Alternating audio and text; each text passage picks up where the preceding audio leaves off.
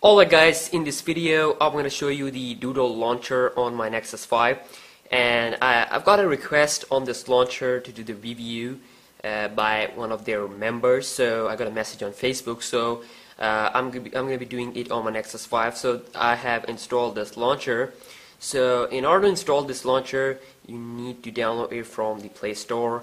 It's absolutely free Dodol launcher so uh, it's a pretty pretty great launcher actually.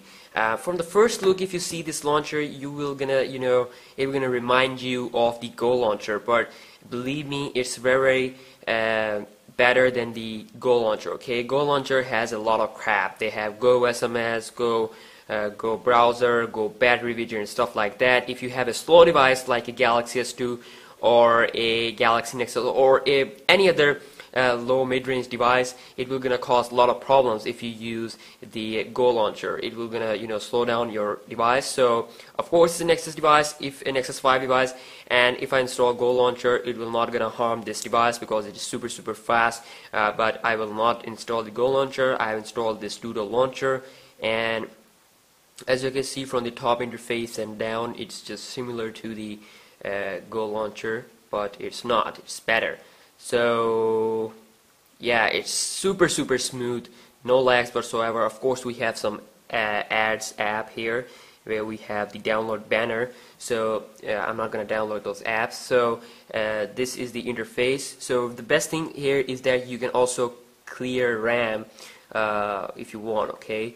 Uh, this will going to show you your RAM, your current RAM. So of course it's a 2 GB de device, so we have a lot of RAM uh, free on this device. So if you want to clean the RAM just click on this uh, broom. So it's gonna or brush is gonna just clean all the RAM. So and other than that we have some widgets. If you have some widgets you're gonna just drop it here and you're gonna create it and one thing that I'm like, like about this is that we have the quick notification on the top here okay?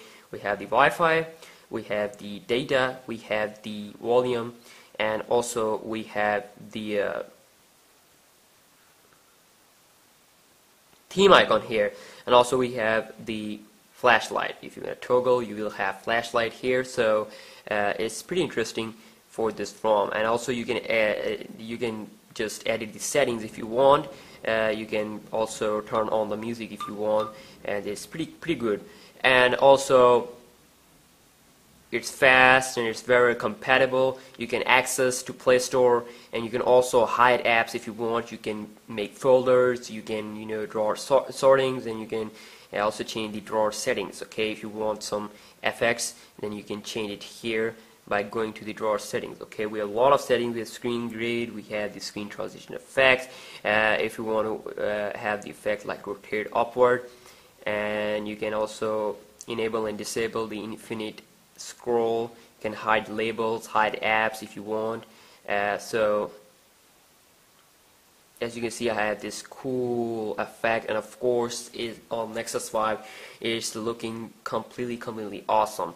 And one more thing uh, about this is, this launcher here is that it shows you the uh, recent apps that you are using okay? Uh, I have used the Deus as the fall. I have played this game. I have used Astrofolder Astrofile Manager. I have used Play Store. So it will gonna make a list of the recent apps. So so that if you use Facebook for example if you use Facebook or Twitter uh, very much then uh, you don't have any problem you know like searching here. You just scroll down and click on it. And you can also have your messaging and phone here if you use it most and also holding down here you will get a lot of options. Like you can add add widgets uh, you can also add icons and also you can change the themes if you want you can download the themes from their uh, from from the Play Store or from their site. And you can also change the wallpaper if you want. Uh, you can also download some icon packs if you don't like the icons default icons. You can also go to the settings. It will take you the settings that I've shown you before. And also we have another settings here preferences. Uh, you know here you can you know set the dodol launcher as default. Or if you don't want to set it default you click OK. Just untick this application this sign here. And you can just go to different launch I have three launch installed uh, if, if you want to uh, use your default app, default launcher, click here and we're going to take back to your original uh, Nexus 5 launcher or any other device you have. So it's a pretty good, uh, pretty good launcher to check. So I will recommend it. Uh, the, the, I will recommend this launcher over the Go launcher because it's uh, totally, totally worth it. So. Uh, hope you guys have enjoyed this video and if you do then please give this video a thumbs up. And if you have any questions related to this video then please comment down below and I will see you in the next video. Peace out